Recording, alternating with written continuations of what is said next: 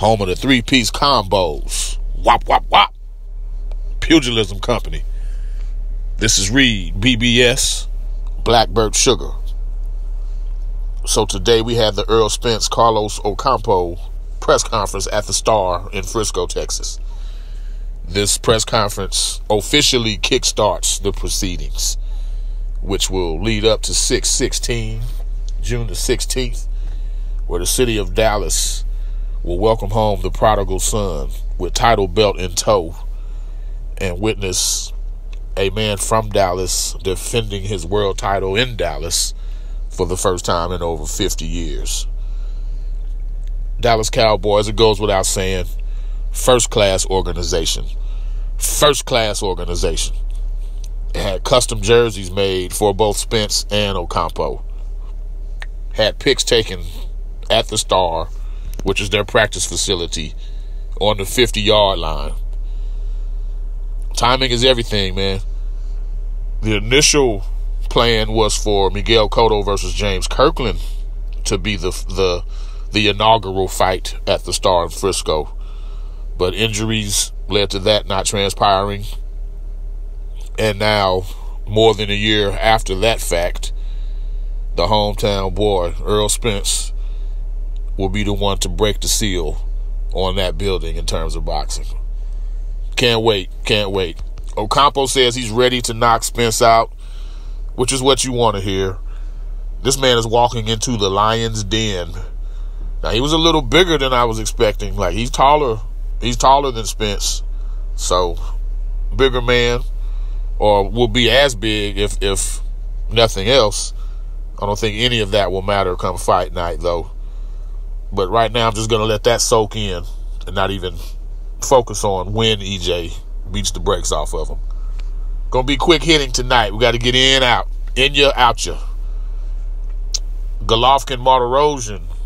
Thursday should be the final press conference for that bout, and then the weigh-in Friday, with of course the fight itself taking place Saturday, Cinco de Mayo, from the StubHub Center in Carson, California, televised by HBO. They are spewing major levels of bullshit. I told y'all last week how Golovkin said that uh, Vanes was a was a real fighter. He's a good fighter. He's a real fighter, and how he thought Vanes was the best of the U.S. Olympians in the 2004 Olympic Games. Not Andre Ward, not Andre Dirrell, or Rau'shee Ward, who's the only American male to have participated in three Olympics, but Vanes Martirosyan it just continues, man. Now, uh, Vanes is saying he's not scared. He's gonna come forward. He's gonna make it a fight. You have Golovkin, who's aiming for his 20th middleweight title defense, which would tie him with Bernard Hopkins for most defenses in history. Golovkin's come out and said his reign is much bigger and stronger than Bernard's. Like, huh, okay the best guy you fought, Mr. Golovkin, you could say Daniel Jacobs, controversial win, or Canelo Alvarez, draw. I don't see the same names that Bernard Hopkins has. If we're just talking title defenses, I mean, De La Hoya, Felix Trinidad. Like Bernard's beating a who's who. Not to mention your your long time, your long term respected champions like Keith Holmes, like William Joppy. He's beating those type of guys, those gritty, those gatekeeper type dudes, the dudes that kept other guys from getting to their level. There's no way. Long story short, there's no way Golovkin has a deeper or better list of names on his hit list in his 20 defenses than Bernard does. Kill that noise, man.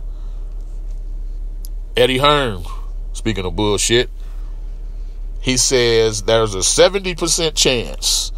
Team Joshua is talking with Team Wilder. Eddie Hearn says there's a 70% chance this could get made. He's also kind of flipped the script a little bit. Not that you can believe anything he says. Uh, immediately after the Straight Out of Brooklyn card, it looked like Big Baby Miller would be facing Anthony Joshua in Joshua's American debut this August. But now Hearn is saying that the WBA is very adamant that Joshua fulfill his mandatory, so they're leaning towards Alexander Povetkin next.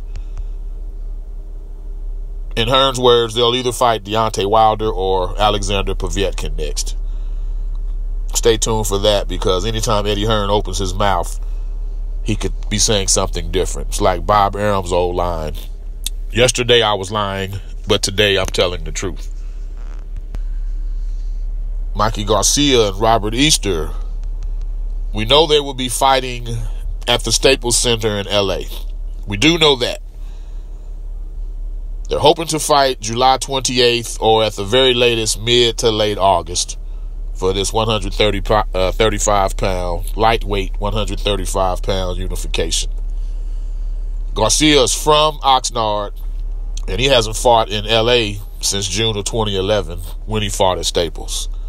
I'm a big fan of Mikey's, and as I stated the other time I mentioned this fight, he's going to knock Easter out. David Haye and Tony Bellew, they will also be fighting Cinco de Mayo overseas in Great Britain. David Haye was stopped in the 11th round, March of 2017. He's not favored to win this fight.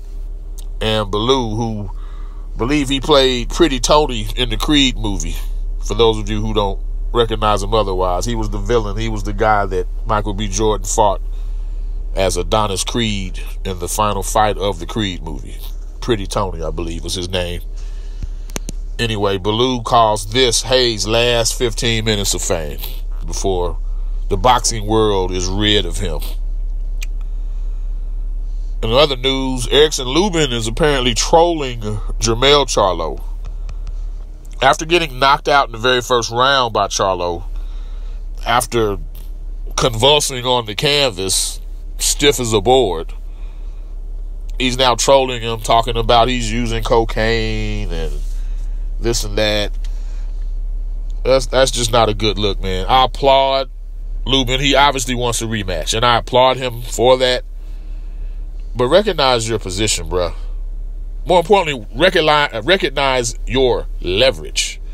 Recognize your leverage, or the lack thereof, in this case. There's absolutely no reason for Jermell Charlo to fight you. He just wiped his ass with you in less than one round. You want to call it a fluke, whatever, whatever. When y'all were in the ring together, what happened happened. Of course, as only the Charlos do, he had an excellent comeback to uh, Lubin. He said, You almost got dropped by a 37 and 21 guy. That's like Drop the mic right there. That's a drop the mic moment. Speaking of Lubin's most recent fight, which he didn't get excellent reviews in. Uh, May the 12th, we will have Vasyl Lomachenko against Jorge Linares from Madison Square Garden, the big room, televised by ESPN. That's going to be an interesting fight. This should be, hopefully, the most challenged Lomachenko will be. I still, I mean, you can't, you can't not pick Lomachenko. Even if he were to face Mikey Garcia, the most I would make that is 50-50. I don't, Lomachenko would have to like fight at 140 against somebody like Terrence Crawford before I would even consider making him the underdog. But looking forward to May 12th as well. Got a couple brief historical notes. May 2nd, on this day, May 2nd, in 1947, Sandy Saddler KO'd Joe Brown. Saddler, he was, I think of him as the original Tommy Hearns. He was a featherweight, long, stocky featherweight. He was like 5'10, and especially back in those days, a 5'10 guy fighting at 126 pounds was unheard of. Like Hearns, Sandy had those broad shoulders and could punch like hell. Uh, he was. There's been many others of that same ilk. Jeff Chandler, who fought at bantamweight, was built that way. You've had Paul Williams, who couldn't punch. There was Milt McCrory, who trained out of Kronk with Tommy Hearns. There's been several examples. Michael Spinks to a lesser degree, uh, Vernon Forrest to a lesser degree, but Sam, Sandy Saddler, he was the the pioneer of the tall, thin, broad-shouldered guy who punched like hell, who could knock you dead with one punch. So shout out to Sandy Saddler, who on this day in 1947 KO'd Joe Brown. And a more recent note, on this day, May 2nd, 2009, Manny Pacquiao KO'd Ricky Hatton in two whole rounds. That was a brutal, brutal KO. One of those that Hatton was never the same again. I figured Pacquiao would win, but I thought he would stick and move because Hatton hadn't been beaten at 140. And Pacquiao, you know, was still, we still weren't sure. This was, he beat De La Hoya up, but De La Hoya moved back down to 47 for who knows what. Had blood coming out of his arms because he rehydrated with an IV illegally right before fighting Pacquiao. So Pacquiao beating De La Hoya under those circumstances wasn't quite as surprising. It was when Pacquiao KO'd Hatton in his next fight that the the eyes of the boxing world and Floyd Mayweather, that's when he started getting spooked. Because Hatton gave him a good fight and went 10 rounds with Floyd. Pacquiao destroyed him. Anyway, on this day, May 2nd, 2009, Pacquiao Hatton. That's about it for today, y'all. Appreciate the comments I've been getting lately. Please keep them coming. Hey, if there's topics you want me to talk about, if there's historical breakdowns you would like, feel free. Feel free to post about it. I'll respond to it. Try to respond to every comment because I appreciate the love. Please hit your uh, bell icon for notifications. And stay locked and loaded until next time. This is Reed, Blackbird Sugar, from the home of the three piece combos. Wop, wop, wop.